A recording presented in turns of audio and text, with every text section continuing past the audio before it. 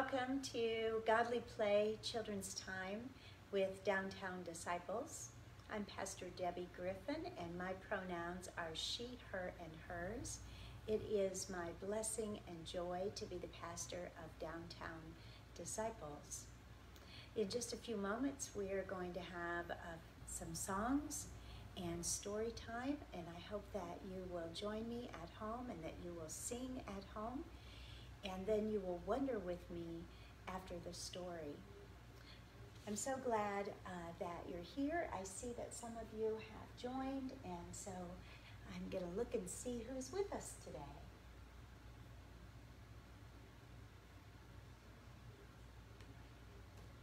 I hope you're having a good day today and that you have experienced the love of God in some way today. If you'd like to chat and say hello, it'd be great to hear from you. Also, if you would like to chat and say, uh, share some way that you have experienced the love or comfort or joy of God today, that would be terrific as well.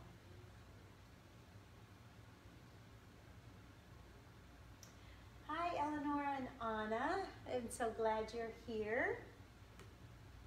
And Tamikia, welcome. So glad you're here.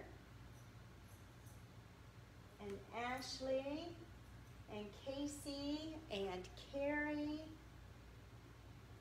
Brenda, Miles and Ava are here today. Hello, I'm so glad to have all of you here with me today. Before I get started, I'm just going to um, make one tiny adjustment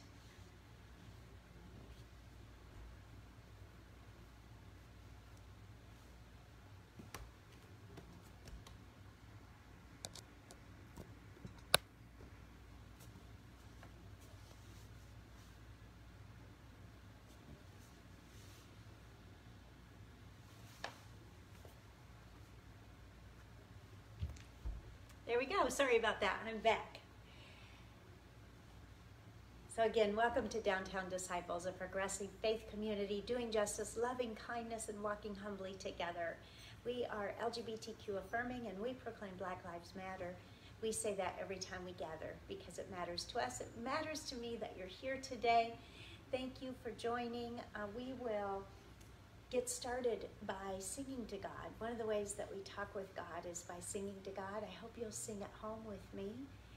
And the first song we're going to sing is about light. And I bet you know this. We sang it last week too. It's This Little Light of Mine. And you can use your, your hands um, to sing with as well as your voice.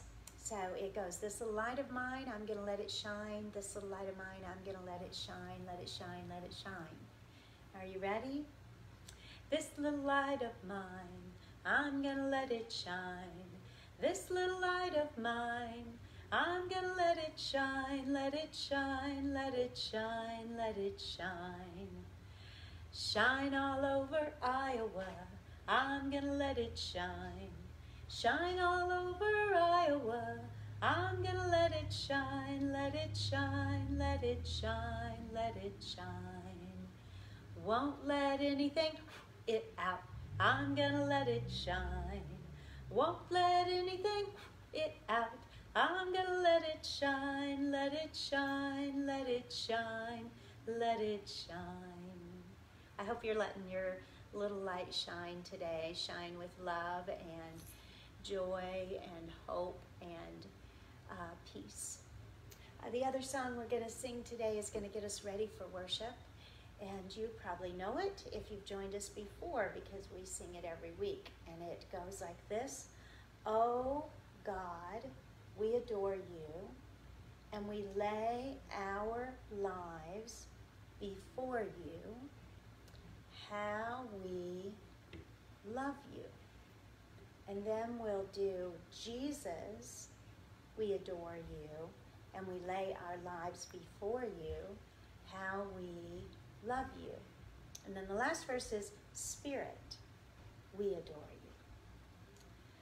Oh God, we adore you, and we lay our lives before you. how we love you. Jesus, we adore you, and we lay lives before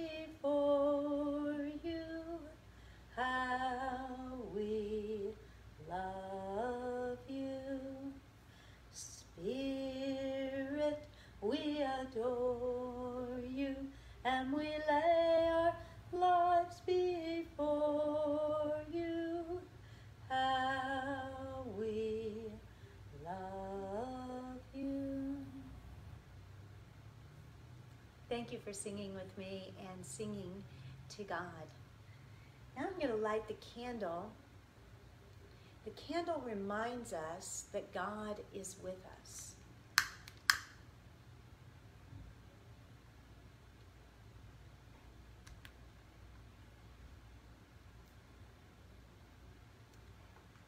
Let us enjoy the light.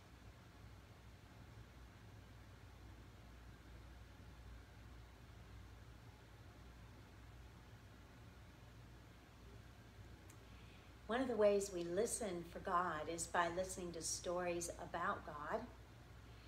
And uh, our story today, it comes from the Bible, and it is told in a couple of different places in the Bible, in the New Testament, in um, some books called Matthew and Luke.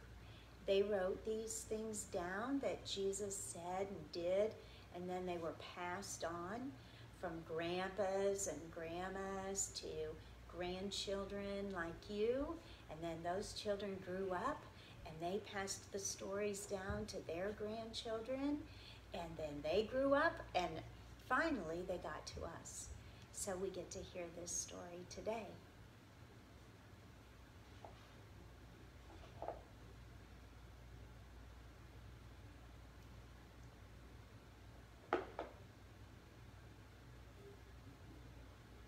Once there was a man who did such wonderful things and said such marvelous things that people followed him. They followed him all kinds of places. They followed him up on hills and they followed him in valleys. They followed him to quiet places alone. They followed him out on the water. They followed him into big cities and into little towns all kinds of people followed him adults and children, people with different abilities followed him, people who were happy and people who were sad, people who called themselves boys and people that called themselves girls and people that called themselves people followed him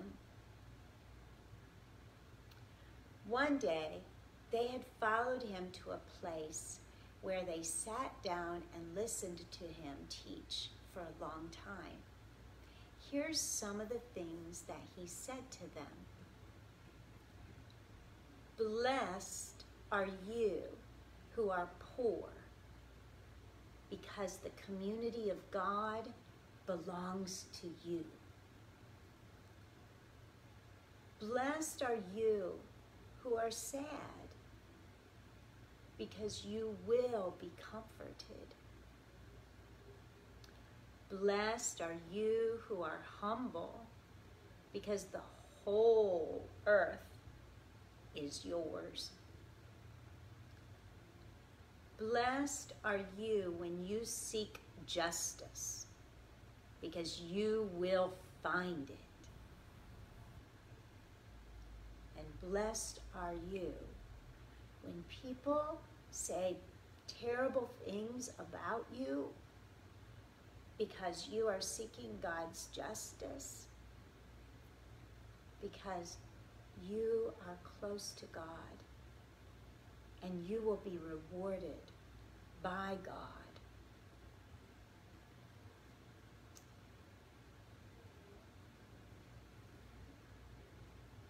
You are the salt of the earth.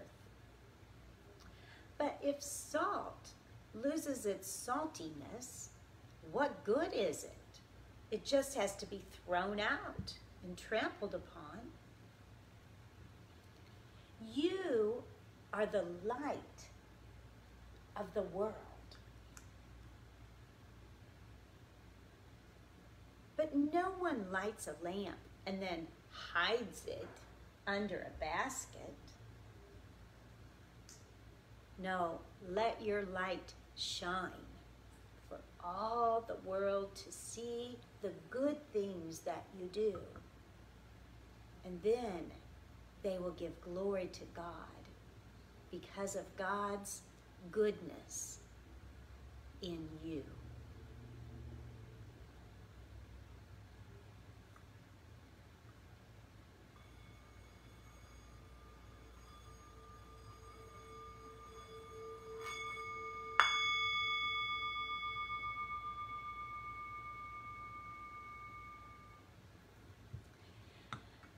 Thank you for listening to this old, old story. I rang the bell because now it's time for us to wonder together about the story. It's important for us to wonder together about the story because the stories are for the whole community. They're not just for me, and they're not just for you. And I'm not the only one that knows things about the story. You know things about the story too. So we get to wonder about the story together. I'm going to wonder, and then I invite you to chat into Facebook or to have your parents do that for you. Your answers to the wondering questions, or maybe you have your own wondering questions that you'd like me to wonder about with you. I am wondering why Jesus said, Blessed are you when you are sad.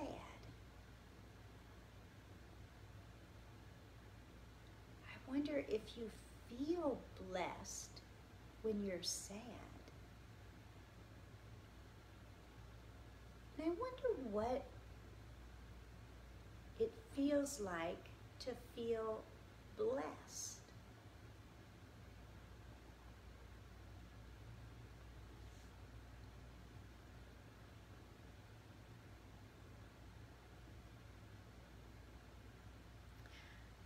I wonder what he meant when he said,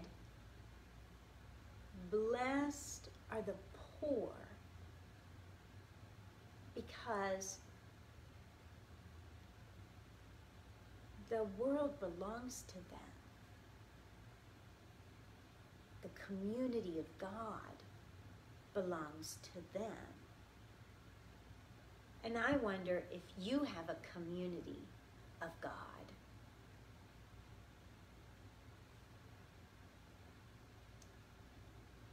And I wonder about the salt.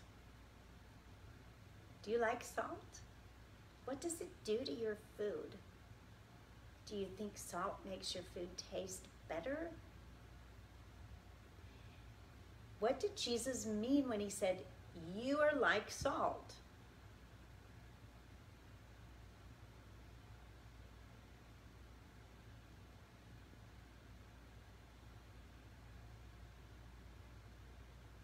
And when he said, You are the light of the world, what did he mean by that? How are you the light in the world? How do you let God's light shine in the world? Do you know somebody that lets God's light shine in the world? And if so, how? How do they let God's light shine in the world? I know some of you, and I know that I've seen God's light shine in you. And I wonder if you know how it is that God's light is shining in you.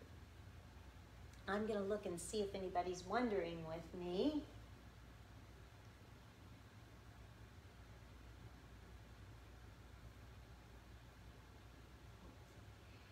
So Ava and Miles and Eleonora and Anna, I've seen God's light shine in you before.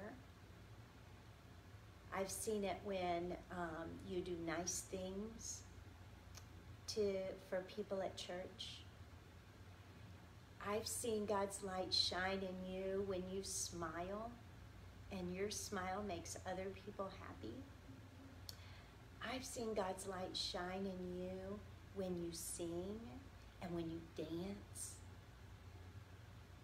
How else are you letting God's light shine in you?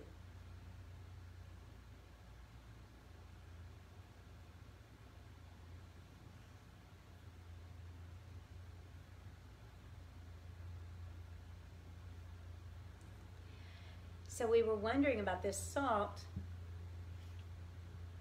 and I'm wondering how salty you've been. So if saltiness, if salt makes food taste better, then um, how do you make the world better? When you make the world better, I think you're being kind of salty. What do you think?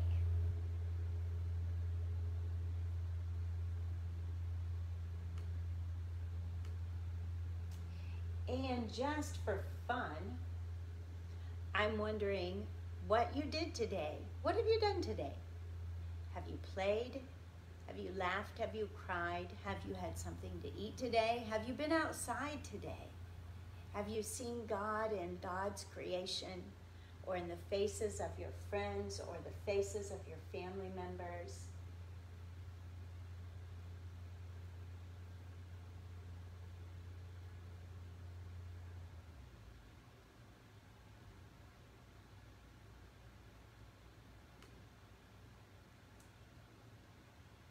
Oh, and Anna says um, when we share. Very good.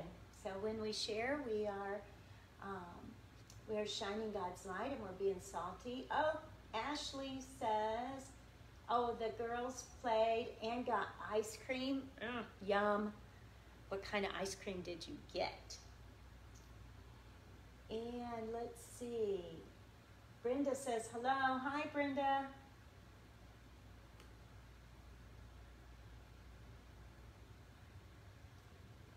See somebody else is commenting. I'll make sure I find that.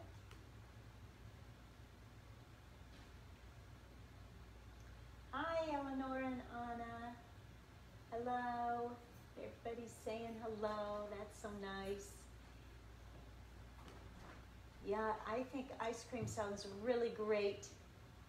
I'd love to have some ice cream. And I wonder if you saw that my my friend Bob Dylan has been here with me the whole time during the story. He was sitting in my lap for a little while, and um, then now he's just sitting behind me, so I'll bring him up front so that you can see him. Uh, looks like Crystal. Oh, hi, Crystal, watching with her granddaughter. How terrific! That's wonderful. So glad. That sounds like um, a great way to spend the day with one's granddaughter. That's fabulous. Thanks for joining us. Okay, so here's Bob. Bob, can you say hi to the kids? Do you have pets at your house? Bob's a good boy. He likes to hang out. And let's see if Lassie wants to come and say hi. Lassie! Come here, girl. You want to come say hi? Come on. She doesn't move very fast. Come on, girl. Come here.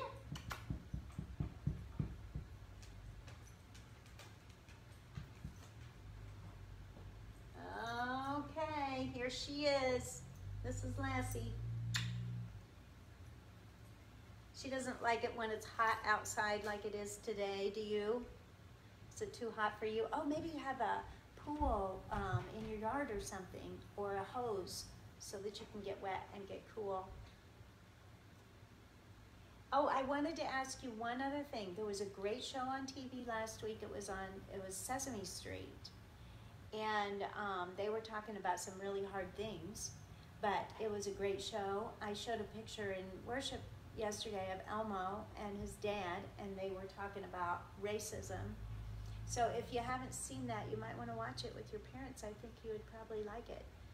Um, and it, it helps explain some hard things in the world. Do you like Sesame Street? So we are going to put out the light and um, and say goodbye for today, but we'll be back on next Monday, and hopefully I'll get to see you in worship on Sunday. So I'm going to put out the light. Right now, the light is in one place at one time.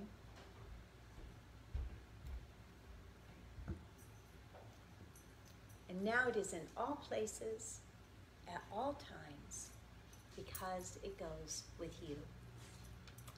Peace be with you.